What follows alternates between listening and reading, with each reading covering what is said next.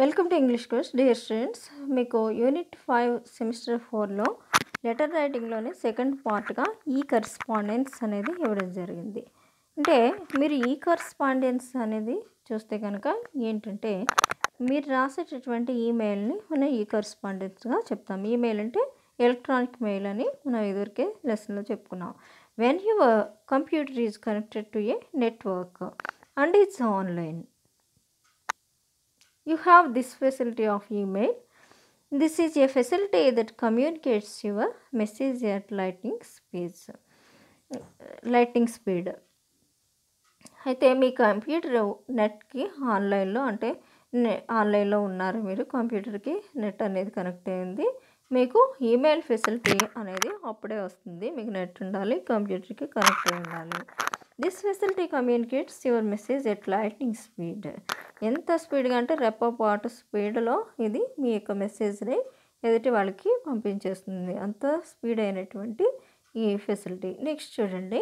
Guidelines for email అసలు ఈమెయిల్కి guidelines ఏంటి అనేది? Never write your email in capital letters ఎప్పుడు కూడా ఈమెయిల్ అంటే మీకు తెలుసు కదా? ఎలక్ట్రానిక్ మెయిల్ని మనం ఈమెయిల్ అని అంటాము.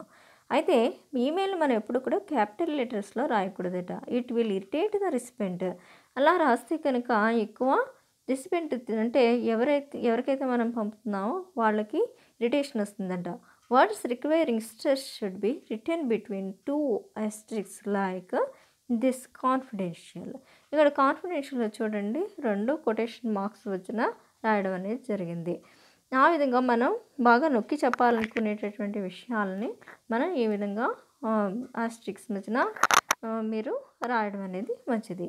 Keep your margin between twenty to eighty so that all the words used by you are visible on the screen మీరు రాసినటువంటి ఈ రైటింగ్ చక్కగా అందంగా లెజిబుల్గా కనిపించడానికి మీకు ట్వంటీ టు ఎయిటీ స్పేసింగ్ని ఇమ్మని చెప్పి చెప్తున్నారు. Next avoid graphics and drawings they they will be very legible illegible at the receiving end అయితే ఇక్కడ గ్రాఫిక్స్ని కానీ డ్రాయింగ్స్ని కానీ ఇలాంటి వాటిని అన్నిటిని కూడా మిమ్మల్ని అవాయిడ్ చేయమంటున్నారు.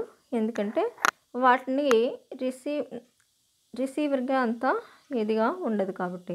Use mail symbols very sparingly. మీకు అవసరమైన చోట ఈ ఈమెయిల్ సింబల్స్ వాడుకోవచ్చు. Many many email users are not familiar with them అయితే చాలామంది ఈమెయిల్ యూజర్స్కి వీటి గురించి సరిగ్గా తెలియదు these symbols used in email are called smileys or emotions వీటిని సిమిలైస్ అని కానీ ఎమోషన్స్ కానీ అని కానీ ఈ సింబల్స్ అన్నిటిని అంటాం we also give the symbols with their meanings ఇక్కడ సింబల్స్ వాటి యొక్క మీనింగ్స్తో పాటుగా ఇవ్వడం జరిగింది.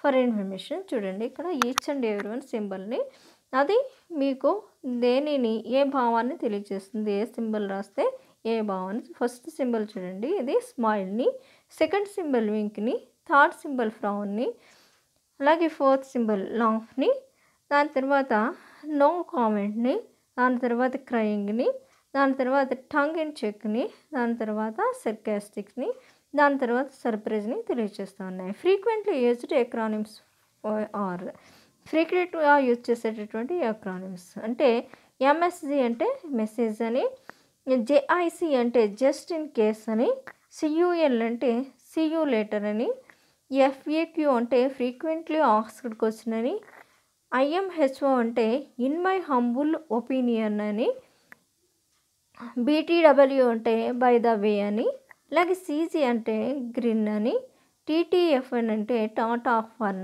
అని బీఆర్బి అంటే బీ రైట్ బ్యాక్ అని జీటీజీ అంటే గో టు గో అని ఎల్ఓఎల్ అంటే లాఫ్ అవుట్ లౌడ్ అని విటీజీ అంటే వే టు గో అని క్యూఐసి అంటే హో ఐసి అని టీటీయూఎల్ అంటే టాక్ టు యూ లెటర్ అని.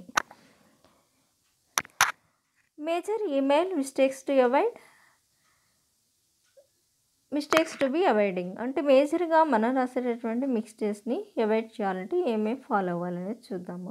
Be quick in answering your emails check up periodically the email correspondence coming to you మీరు చక్కగా ఎంతసేపు ఆన్సర్ చేయడం ఈమెయిల్ని మనకి ఆన్సర్ ఇచ్చేటప్పుడు చాలా క్విక్గా చేయమంటున్నాడు. అలాగే పీరియాడికల్ అంటే ప్రతిరోజు మీ యొక్క ఈమెయిల్ కరస్పాండెన్స్ని మీకు వచ్చేటటువంటి ఈమెయిల్ని చూసి ఒకసారి ఆన్సర్ చేయమంటున్నారు avoid politically sensitive messages. Also information you don't want to be made public. The receiver will print it and use it against you. ఇప్పుడు ఏం చేయమంటున్నారంటే ఏదైతే సెన్సిటివ్ సున్నితమైనటువంటి మెసేజ్ అనుకుంటున్నారో దాన్ని ఎప్పుడు కూడా ఈమెయిల్లో పంపించదు నెక్స్ట్ ఇంకో విషయం ఏంటంటే ఏ విషయాన్ని అయితే మీరు పబ్లిక్లో చెప్పకూడదు అనుకుంటున్నారో అలాంటి విషయాలను అసలు ఈమెయిల్ చేయొద్దు.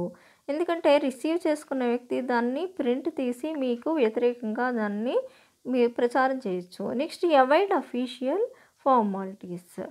మీకు అఫీషియల్ ఫార్మాలిటీస్ ఏవైతే ఉంటాయో వాటిని కూడా మీరు అవాయిడ్ చేయమంటున్నారు. Don't send personal messages personal messages కోసం ఈమెయిల్ని వాడవద్దు. Avoid sending any type of confidential information ఎటువంటి కాన్ఫిడెన్షియల్ ఇన్ఫర్మేషన్ అయినా ఈమెయిల్ ద్వారా అసలు పంపించొద్దు. Remember email is not a substitute for phone conversation ఒకసారి గుర్తుంచుకోండి. ఈమెయిల్ అనేది ఫోన్ కన్వర్సేషన్కి ఒక సబ్స్టిట్యూట్ లాగా అంటే దాని బదులు ఇది వాడచ్చు అనే విధంగా మీరు దాన్ని వాడద్దు. Phone contacts are essential to keep up and promote your business interest మరి ఫోన్ కాంటాక్ట్స్ అనేవి మీ యొక్క బిజినెస్ని మీ యొక్క ఇంట్రెస్ట్ని ఇలాంటివన్నీ కూడా ప్రమోట్ చేసేగా ఉంటాయి. Check up your email for grammar మీరు ఎప్పుడైనా ఈమెయిల్ చేస్తున్నప్పుడు గ్రామర్ని అలాగే పంక్చువేషన్ని ఒకసారి చెక్ చేసుకొని అప్పుడు email పంపమంటున్నాడు. Mistakes and bad grammar are not accepted in email తప్పులు అలాగే గ్రామర్ మిస్టేక్స్ ఇలాంటివి ఈమెయిల్లో యాక్సెప్ట్ అంగీకరించారు. Write and send email when you are normal and relaxed మీరు నార్మల్గా రిలాక్స్డ్గా ఉన్నప్పుడు మాత్రమే ఈమెయిల్ని పంపించండి.